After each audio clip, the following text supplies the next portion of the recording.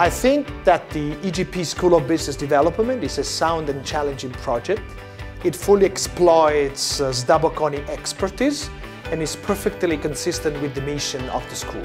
The EGP School of Business Development allows two Italian excellence to cooperate in a very tight way, the largest renewable energy company with the top Italian business school.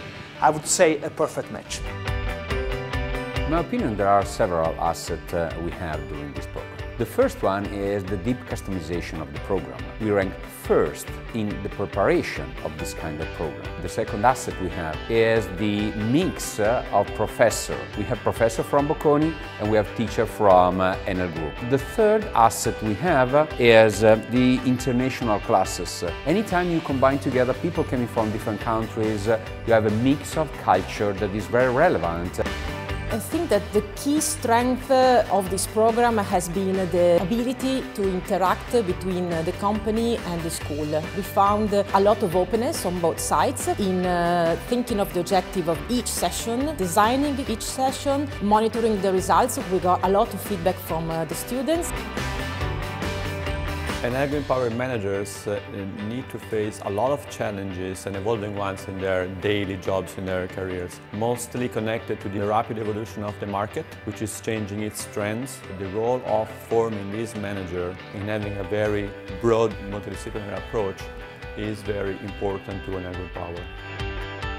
Top management education is very important for Enel Green Power because we are one of the leading company in our industry in the renewable space. So we need to have the best talent, best people, trained at the best level possible to win the challenges that we have globally.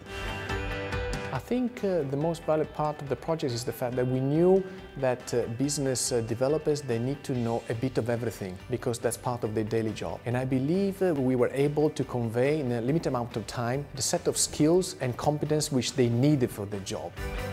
In my personal life, I think that I have become much more uh, open-minded and respectful towards the ideas and beliefs of all the people that I got in contact with. I will bring home culture, information, friends, this place. I mean, uh, the university is awesome and of course a lot of important experience uh, that I had in this class.